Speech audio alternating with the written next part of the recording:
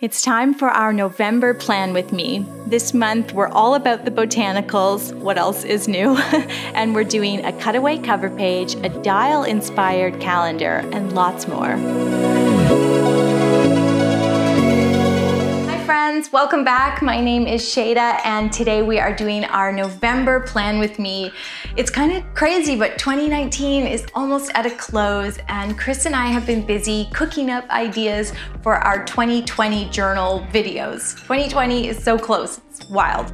Now, if you're not aware, in December we put out quite a bit of journal-based content because in December, we'll do our 2020 setup, the 2019 flip through, and the January setup. So make sure you are subscribed so you don't miss any of that stuff.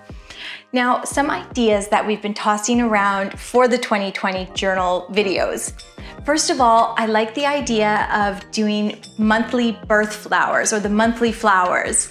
So if you're not familiar, every month has a flower and if the month that you're born in, that's the birth flower. So for September, it's asters. So every month I would incorporate those flowers into the monthly cover page somehow. And the reason I like this idea a lot is that sometimes when you give yourself a specific topic or subject, it actually really helps you to be more creative because say for September, I don't just want to draw asters, I want to go beyond that. So September is getting into fall, so maybe I would do asters coming out of a pumpkin, a pumpkin bouquet, something like that. You see, so every month would still be different and interesting. Um, so let me know what you think of that idea. I know we've tossed that one around a little in the comments already and it, the response was positive. So comment with your ideas or how you feel about that. And then one other thing that I have been thinking about is that for 2020, I think I would like to do color. okay, I said it, it's out there, it is out in the world. Yes, um, because I know that a lot of you like color, obviously, and this year I did black and white mainly for 2019. So I think I'd like to challenge myself and work a lot more color into my cover pages especially. So let me know your thoughts on that. Now for November, for this month, we're doing all kinds of fun botanicals, um, a lot of really pretty stuff. So let's just get into it and get started. And just a quick reminder if you sign up for my Patreon site, you'll be able to print my planner printables. They're part of weekly bonus content that we give to the channel patrons. So head there after today's video. Okay, let's do a quick flip through of my October planner. Of course, I did the falling leaves theme, and every month I do a Dutch door or cutaway cover page. And I like it because I can keep my goals and affirmations tucked away underneath, and then I have my calendar. And then this larger calendar page page is getting a bit stale, I think, so this month we're switching it up. In October, we also had this monthly to-do list. That is a separate video. I will link that below. And I did this cute little birch design. That's part of the October plan with me in case you want to do it this month. And then I did a really clean and simple and achievable weekly layout because October is so busy for us. And you'll notice I'm shooting this really early because we are actually going to New York at the end of the month. So that's why those aren't filled out, but I will be using that. Um, so I'm going to clip that down and then let's talk about how to create a Dutch door cover page. So I always count in eight squares and draw a line. I, I don't know why I just clipped that. and then um, on the page below, you're gonna come in eight squares or any set number and draw the line as well. That's your guide. Now flipping back to our main page, this month I want to do a botanical theme and I'm going to use the letter N for November. So what I've done is I've printed the N in a sans serif, so just a no fuss font on a piece of computer paper and I'm going to cut it out, fold along the bottom, and then I'm going to cut along that folded line. Um, then what I'm going to do is align the bottom of the N with the dot grid and then tape this down in my journal. Then we're going to take a piece of transfer paper and slip it underneath that little printout and then we're just going to carefully trace the letter N using a nice sharp pencil. A mechanical pencil is great for this. Now, if you don't have access to a printer, you can of course use graph paper and draw a nice straight letter yourself, or just use the dot grid in your notebook. This is just kind of a simple hack. And then what we're going to do is we're going to draw botanicals all around this letter. When you're placing your leaves and flowers, you want to make sure that they butt up right against the letter. So I'll start this flower uh, right in the center. I'm drawing the stamen right against the letter N, and then I've got a sort of a semicircle of petals fanning out behind it. You can also see with the leaves, I'll make sure to start two leaves right on the letter, right on the perimeter of the letter. And it's fine to draw over top of the N if it helps you. Just go very lightly in pencil and you can erase it later. I'll keep most of the flowers and leaves that butt up against the N quite large, and uh, that just helps to make sure that the perimeter of the letter is enclosed. And then as I move away from the N, I'll do smaller leaves and little berries. You can see the plants get a little more delicate the farther away from that letter they are. With that done, I'm going to grab my Pigma Micron. I'm using the 03 nib, but I have an 01, a smaller nib handy as well. Um, just use whatever size you're comfortable with. You could go smaller, you could go larger.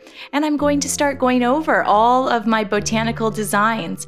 I should note that it's important to add a little bit of line shading to your leaves, flowers, and berries, especially the ones that are right up against the end because you want to create contrast. So you can fill in the leaves with lines or you can do them completely blacked out. It's totally up to you, but adding that extra line shading really makes a nice contrast between the end, which is just going to be negative space, and the flowers, which of course are much darker. And I'd like to take a second to thank Skillshare for sponsoring our video today. Skillshare is an online learning platform with thousands of classes in photography, design, watercolor painting, and so much more. Premium membership gives you unlimited access to high quality classes from experts working in their field so you can improve your skills, unlock new opportunities, and do the work you love. And Skillshare is also more affordable than most learning platforms out there. An annual subscription is less than 10 bucks a month. And right now, if you'd like to try two months of Skillshare for free, simply click the link in the video description below. Now I'm not spending any time in this tutorial talking about how I'm drawing these flowers and leaves, and that's because the video would just run too long. But if you're struggling, I just released a video earlier this month all about floral doodles, and I released another one, gosh, maybe at the very end of September, about leaf doodles and botanical drawing. So I will link both of those in the description. Check those out if you're struggling with which flowers and berries to draw. I have tons of content like that, so don't fear. I love the way this cover page is coming together, but I actually wasn't sure what to do for November. It's a bit of an in between month, but I always say, when in doubt, draw flowers. So that's exactly what we're doing. We did a cover page like this, oh gosh, last year in May, in May of 2018, but we did the whole word May. Um, so this is sort of a variation on that, and I just love the way it's turning out. Now as this comes to a close, what I'm going to do is take the smaller Pigma Micron and start adding extra line shading. So there's already lots of line shading in here. All the veins on the leaves are there, but this smaller nib just gives me even more control and precision to add more tiny lines and color things in, and you can see the beautiful contrast emerging. I'll uh, get rid of all my pencil lines using a soft gum eraser. I'll link that eraser in the description. And then before we know it, it is time to cut away that cover page. And I just do that using an X-Acto knife and a cutting mat. And uh, I love the way this turned out. I'm going to flip over here to the page below. I've still got my guideline there. And I'm going to place the calendar um, where I can see it. And I just do a, a really small, tiny calendar there and write November above it. I'm using the 01 nib for that. And then below, I always do my goals and affirmations. I just call it goals and focus.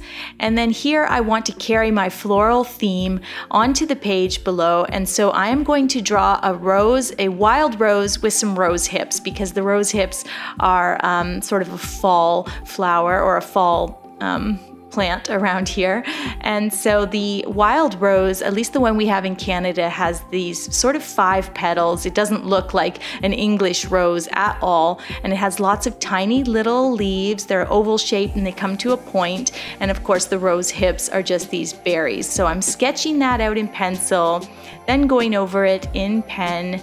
Um, I, I decided to add one more flower here And you can see I always draw a guide first. I'll do my circle where I want the flower to sit, then I add the petals, and then only when I am happy with the drawing do I go over it in pen. And you can see I'm just finishing up my contour drawing here. A contour drawing is a drawing that's just a basic outline. And then when that's done, I'll come back in with that smaller nib, the 01 or even the 005, the really tiny Pigma Micron. And that's what I use to add all these little lines, a little bit of line shading on the petals of the flowers and lots of little lines on the leaves. And it just adds a beautiful contrast to the overall illustration. Okay, this page is complete. Remember, if you want help drawing flowers and leaves, I have tons of videos and I'll link them below. Let's flip over here and this month, as I said, we're going to do a different type of calendar page. This is going to be a dial calendar and I'm starting with a little rectangle in the center. I've counted out six squares from center on each side and then I've marked a height line and a baseline so I'm giving myself guidelines. Then I'm going to mark four squares for each letter and I've got um, a square in between and I'm just going to write NOV for November. And you can see because I want to do a really basic block letter I'm just blocking it out um, with in pencil and I sort of give myself permission to, you know, sketch out these letters so that I'm really happy with the shape of them. I want them to be really straight and simple. This would also be a great time to use a letter stencil if you have one just to help it stay really straight. Um, going over it in pen can be a little nerve wracking, but don't worry if you miss or you mess up, you can always color in the letter completely. I wasn't sure if I was going to color in these letters, so I was like trying to get it really, really straight, and I actually did a pretty good job, and then I decided to color it in anyway. So um, there's lots of options there, and now I have this bold November right in the center of the page and I'm going to draw this swooping circle of flowers around the November title. So I start with a guideline, a big semicircle, and then I start drawing flowers and they too start with a guide. I'll do a circle, or an oval, and then I mark center, that's where the stamen will sit. And then by marking center, I know where each petal should be placed. So if I put the center of the flower a little low, that means the petals um, towards the bottom of the page will be a bit shorter and the ones towards the top of the page will be a bit larger and that helps with the foreshortening. So you can see me doing that here. I'm working out a guide for each flower and each petal and so all the flowers look like they're on a slightly different angle. So let's go really slowly here and I'll show you. First we start with a circle. Think about how big you want the flower to be. Then mark your center and then where you put that center determines how big the petals on each side will be. And you'll see the ones in the front of this flower are a little bit shorter, and that makes it look like the flower is sort of opening up towards us. So when you're thinking about depth, uh, always start with a guide. I think that's the easiest way to be successful doing flowers or drawing flowers on different angles. Where you place that stamen really matters, where you place the center of the flower. And that's all you really need to do is give yourself a guide to begin with. And I talk a lot more about this in my video 12 Simple Floral Doodles. So watch that because I just can't, this video is already over 20 minutes long and um, I really do think this is a lesson worth learning and I go much slower in the other video. So I am filling this in, doing lots of simple oval shaped leaves or sort of a pointed oval. We'll get rid of all the pencil and eraser dust. And then uh, once that's done, it really gives me this nice blank contour drawing. And at that point, I can start adding line shading. And because there's no extra pencil on there, I can really decide where do I want the extra lines and I'll begin to place them. And what I want to do for this design to keep it really clean and simple is I'm only going to add line shading to the flowers. I'm going to leave the leaves, leave the leaves completely blank. And so you can see I'm coloring in the stamens in the center of each flower. I'm adding a little bit of line shading to the petals and then that's it. It's this really simple botanical design and it's going to make a beautiful calendar, which I'll show you how in a moment.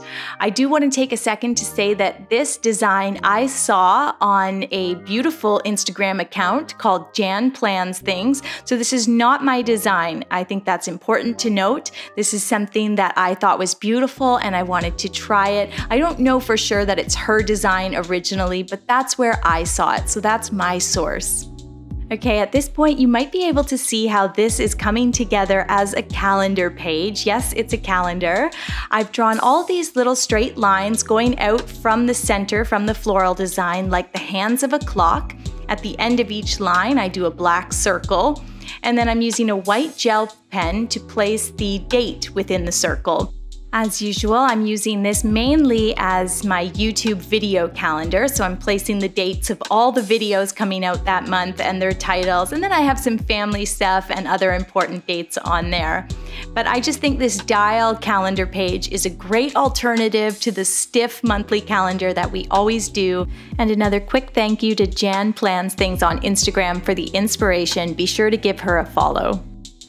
Okay, let's flip over here. And the last thing I want to do this month is a new weekly layout. And this layout is something that I cooked up um, because I love drawing flowers and leaves. So what I want to do is divide each page into uh, three sections. So I'm doing these little lines and the lines take up seven squares each.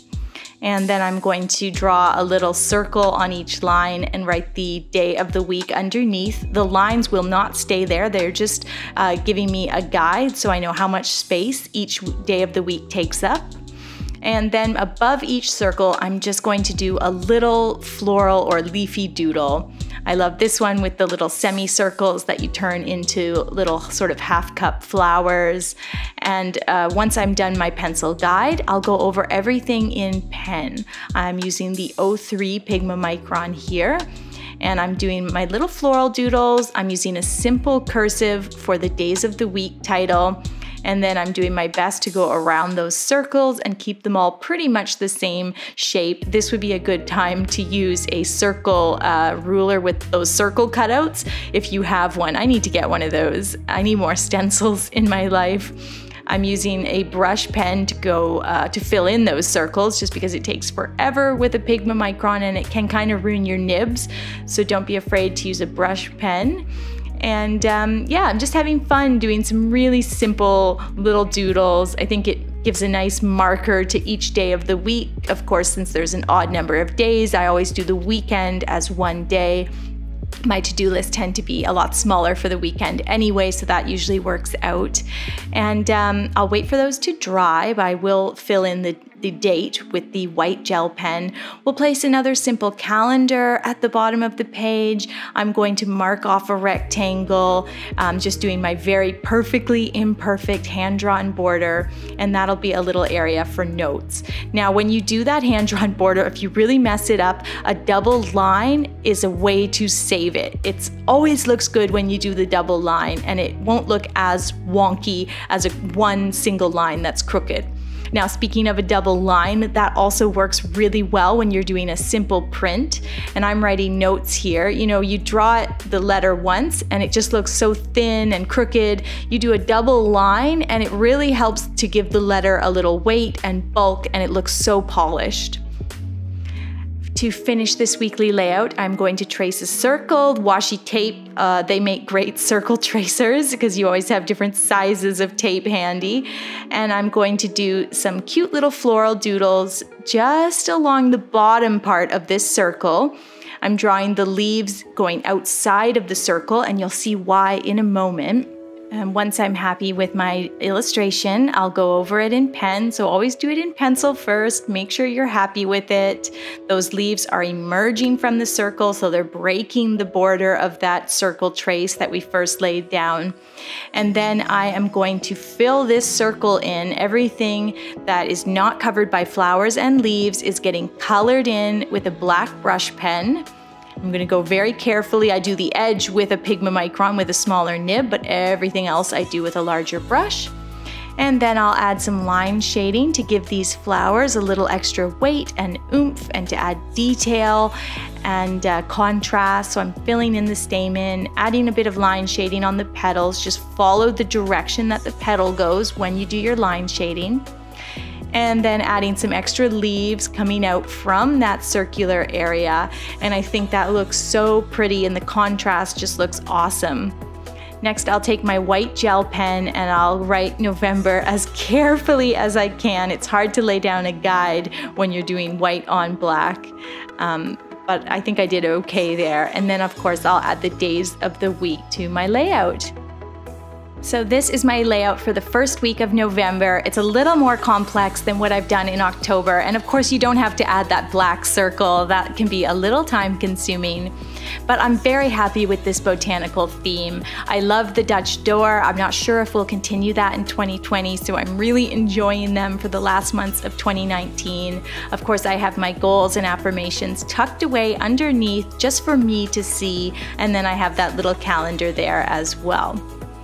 This month we did a dial calendar page. I'd love to know in the comments what you thought of that. Is that useful? Is that too time consuming to create? Is it weird? Let me know what you think. And then my weekly layout um, with just the simple little botanical doodles and lots of space for notes. Thank you again to Skillshare for sponsoring our video today. I want to take a second to mention a few classes that I think you might find interesting, at least I did. The first one is this introduction to botanical cyanotypes or sun prints. I mean, this is just the stuff that I love, love, love. Anything that has a bit of um, a vintage flair, anything that's botanical and crafty, I find so um, wonderful and just such a fun thing to do on a Saturday afternoon. So this is one that you might want to give a watch if you've been drying flowers over the summer like me. And next, it's um, this watercolor course, which I think I've pointed out before. This is all about the techniques. So sometimes we don't get into this stuff on the channel. Things like creating blooms, gradient washes, fixing mistakes. So she really takes you through all of that. And I noticed when I looked through the class projects that a lot of them looked really impressive. And these are a lot of beginner works. So um, this is the type of stuff that you can find on Skillshare. Be sure to click the link in the video description if you want to try two months free. And that's it. Thank you guys so much for watching. I hope you enjoyed the tutorial. Don't forget to hit the subscribe button and I will see you soon with a new video.